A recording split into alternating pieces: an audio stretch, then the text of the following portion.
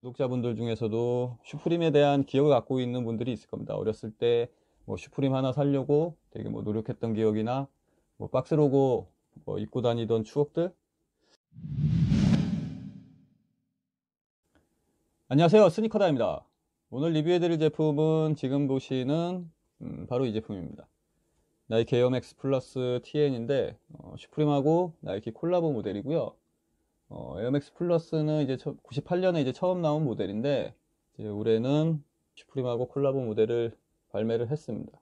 뭐 지금 이 제품 포함해서 최근에 슈프림하고 나이키 콜라보 제품들이 이제 크게 이슈가 안 됐는데 뭐 슈프림도 그렇고 나이키도 그렇고 뭐 둘 다 크게 재미를 못 본 상태인데 지금 21년에 발매된다고 이제 나와 있는 뭐 이제 루머도 있는 것 같은데 그 제품들 중에서는 크게 이슈가 될 만한 제품들이 있습니다. 지금 보시는 이 덩크 제품인데 우선 이 제품 같은 경우는 그 정보가 계속 업데이트가 되고 있습니다.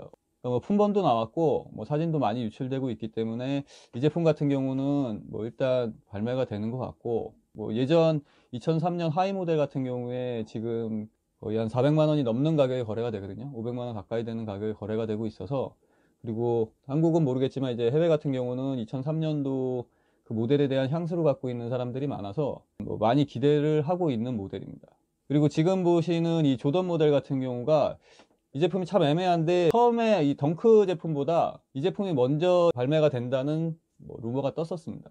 어, 이 조던 같은 경우는 제가 처음 본 게 이제 올해 8월에 정보를 봤는데 그때까지만 해도 어 이제 예전 2003년 모델의 오마주 모델이라고 해서 발매가 될 것처럼 정보가 떴었는데 지금 제가 확인하는 데서는 뭐 루머 쪽에 일단 좀 무게가 실리는 상황이기는 한데 일단은 두 모델 모두 발매가 된다면은 상당히 이슈가 될 거고요. 둘 중에 하나만 발매가 된다고 해도 근래 나왔던 슈프림하고 나이키 콜라보 제품들보다는 훨씬 이슈가 될 겁니다.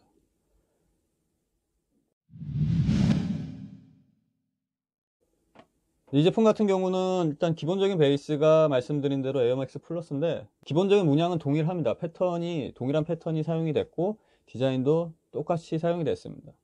뭐 사이즈는 일단 최소 제 기준에서는 1up 정도는 하셔야 될 것 같습니다. 발볼이 좀 좁게 나왔고 반up보다는 발볼 넓으신 분들도 1up 정도 하시는 게 좀 편하게 신으실 수 있을 것 같고 앞부분에 이제 빛을 반사하는 소재가 사용된 거는 동일하고 그리고 이 기본적인 이 패턴, 이 무늬가 있는데 지금 잘 보시면은 지금 슈프림이라고 써 있습니다. 슈프림이라고 써 있는데 기본적인 패턴을 슈프림 로고로 형상을 한 건데 어, 이 부분하고 그 다음에 지금 이 혀 부분에 있는 슈프림 로고 이거 말고는 뭐 달라진 게 없다고 보시면 됩니다. 기본적으로 TN 모델이 그 Tuned Air라고 나이키에서 사용되는 에어 소재인데 그거 사용된 것도 동일하고